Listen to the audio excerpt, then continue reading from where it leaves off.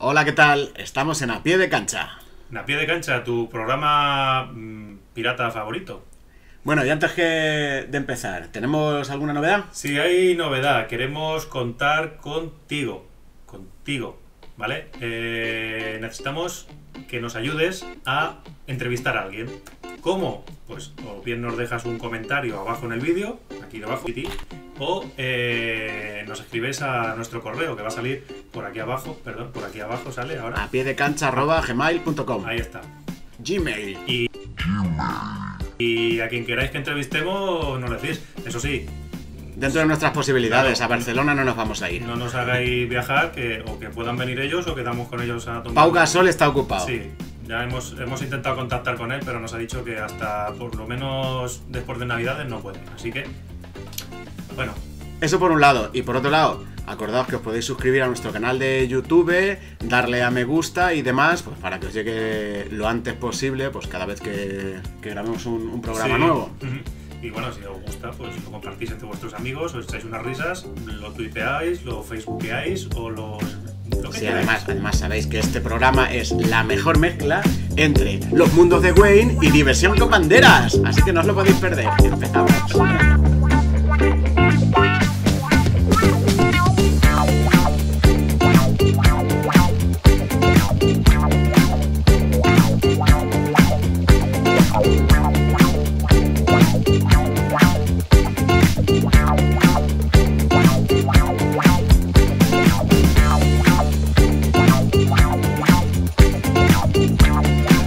Empezamos con el baloncesto en silla de ruedas. Amiabe este fin de semana ha vuelto a hacer de las suyas. Sí, ha ganado al Fundación Vital 38-63. Sí, sí, la O sea, verdad.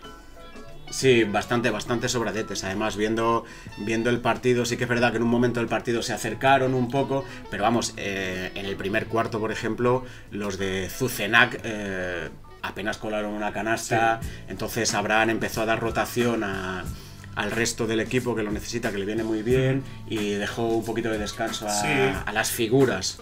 Se nota que Zucenac pues, bueno, es un recién ascendido Claro. y, y hay un salto de mucha calidad de, de primera división a división Sí, ellos, ellos lo reconocen, tienen a un par de jugadores que son bastante buenos, pero claro, eh, el ascenso eh, se nota y aparte en esta categoría, pues eh, Bilbao, Amia, Bilunion, Sí, eh, no, es, es están- un salto de sí, calidad que no, no sí. está ni en, ni en esta liga. Se nota, ¿no? Pero, Sí.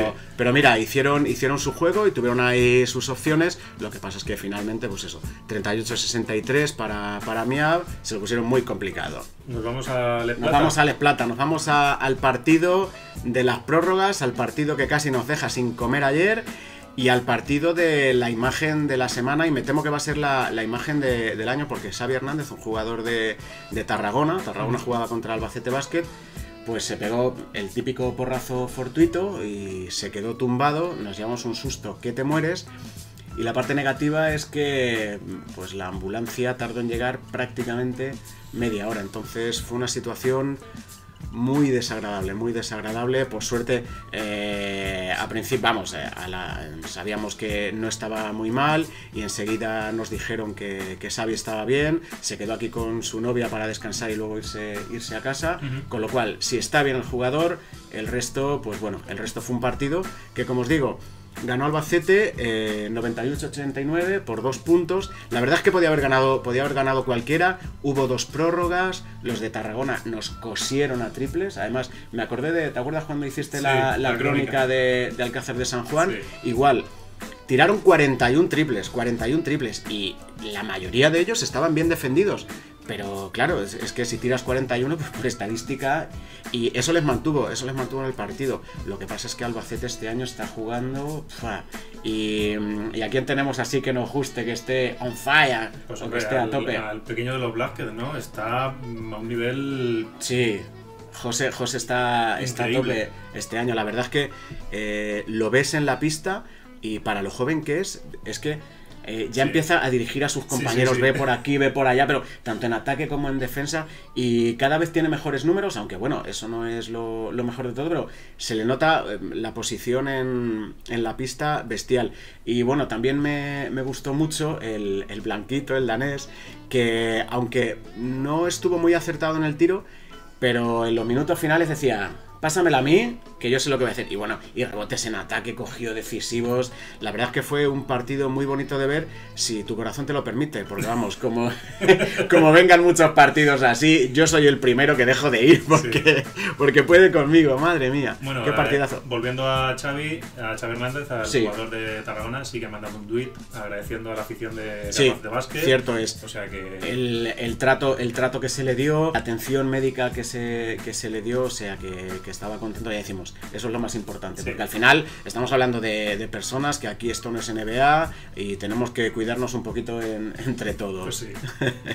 Bueno, seguimos. Pasamos a Liga EVA, donde hubo el partidazo de la jornada. ¿no? Sí, sí, Se- el- se el enfrentaron lo- los dos equipos de, de la provincia, eh, Ujú. Villarroledo y La Roda, donde fue Villarroledo el, el Quedaron ganador. capicúa, quedaron Sí. capicúa de estas Sí, sí. casualidades que pasan.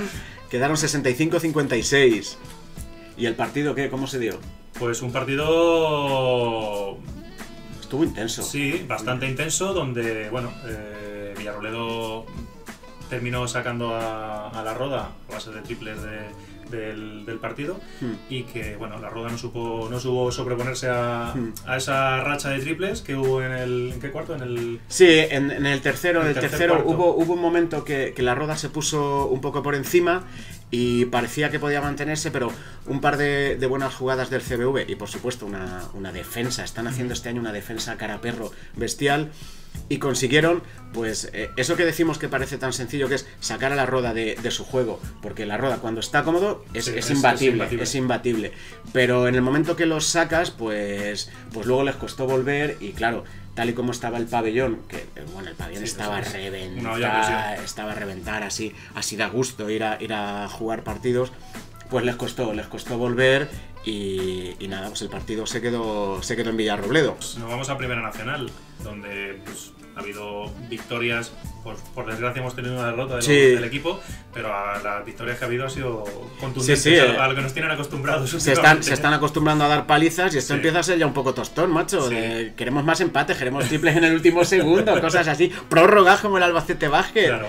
Pues Miguel Esteban perdió 43 a 90 contra Zasan Almansa, donde bueno, pues eh, hubo un festival de triples en el conjunto almanseño, donde destacaron pues, Pablo, Pablo Rosique, Alberto Micó, eh, Juan Ángel, eh, José Ángel Naranjo y, y Bonete, un, Madre mía, un Bonete. conocido Madre de, mía, Bonete. de los Es para darle, es para darle un abrazo hablando. siempre. Para darle un Y, abrazo bueno, siempre.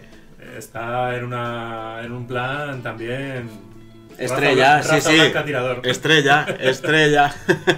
La verdad es que sí. Almansa, Almansa sigue, sigue muy bien. Los que este, esta jornada lo han pasado un poquito peor fueron los de Jin, que perdieron contra Manzanares Sí. 79-64. Pero bueno, eh, siguen, estando, siguen estando bien situados. En mitad de la tabla, no. Sí, sí, no siguen bien mal. situados. Y los que siguen con su racha ganadora son los de UCA. Los de UCA, macho, que igual. Yo no sé si es que quieren que tengamos otro equipo de Liga EVA en, en Albacete. Porque han vuelto a ganar, ¿no? Sí, 70-87. Ganaron, ganaron en Cuenca. eh, En, en el pabellón de Cuenca. ¿Cómo se llamaba el pabellón de Cuenca? ahora, ahora lo ponemos, o sea, lo ahora ponemos. se pone el rótulo aquí abajo y ya está. ¿no? Pabellón de Cuenca. Sí. 70-87, otro buen partido. Están, eh, los chavales de Toboso están muy concentrados en, en su liga. Recordamos que perdieron el primer partido contra el que están bestiales también, y, y se están manteniendo además con victorias muy solventes. Sí, aparte, bueno, eh, han sacado hace poco en redes sociales el, eh, Luca un par de vídeos y uno de ellos es un contraataque que acaba- acaban 2 más 1 con un mate de, Sí, sí, de sí. Alex. O sea, es, es un nivel. Se están gustando, se sí, están sí, gustando. Y Es- es lo que pasa, cuando los equipos se gustan parece que todo es más divertido y por supuesto es más divertido para nosotros. Claro, más vistoso, más afición, más baloncesto, más a pie de cancha Sí, y sí, más, más de todo. más risas. De todo lo que nos gusta. El último, el último partido, ¿cuál fue el de...? Por último, nos vamos Tobarra, a Tobarra. Tobarra. Tobarra 71, Daimiel 42. Lo tengo ahí la chuleta. Y bueno, pues hay que destacar eh, que pese a empezar perdiendo, eh, los chicos de Chemi Escudero acabaron de paliza.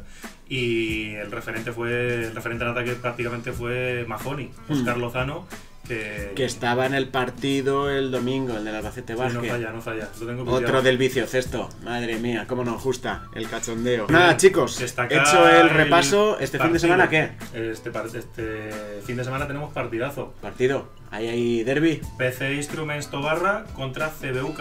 Uh, ahí hay tomate. Los dos equipos solo han perdido un partido.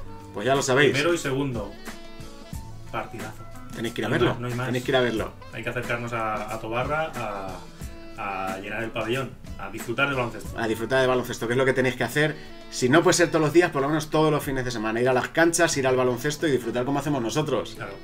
Bueno, chavales, nos Bueno. vemos la semana que viene. Oye, gracias a Nike por esta sudadera de Space Jam. ¿Has visto? No. Publicidad. Hasta Nos luego. vemos, chao.